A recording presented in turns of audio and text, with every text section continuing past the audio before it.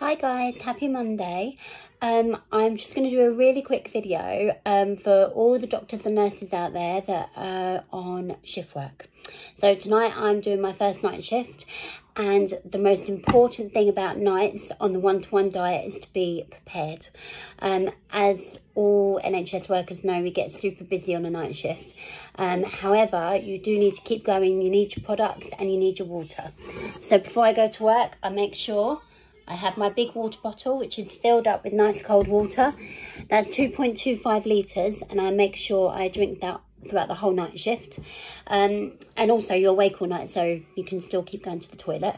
And you've got your daily water intake. Um, when you're feeling peckish um, and you've got a grumbly tummy at 3am, a cup of the golden vegetable water flavouring is amazing. Um, it just gets rid of those tummy rumbles and gives you a bit boost of energy. Um, it's got a small salt content in it, um, which is great to just keep you going to get rid of those hunger pangs and like I say give you a bit of a boost um, I always love the salty caramel bites on my night shift only because I can split them throughout the night you get 10 little bites in the bag so I have a couple at the beginning of the shift a couple mid shift about 2 3 o'clock and then a couple at the end of the shift um, if you're really struggling, like the first night is always the hardest because you've been awake all day as well, um, the fava beans are fab. They're only 100 calories per bag and they're really yummy. We've got three different flavours, original, chili and lime and sour cream and chives.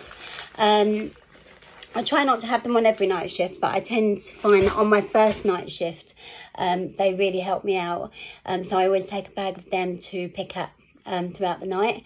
Um, and then I always take my porridge, the mixed berry, that's my favourite, um, on the um, hope that if I do manage to get a break at the end of the shift, towards the end of the shift, I have my porridge before I finish work. So when I get home, um, I've got a nice full belly before I go to bed the next morning.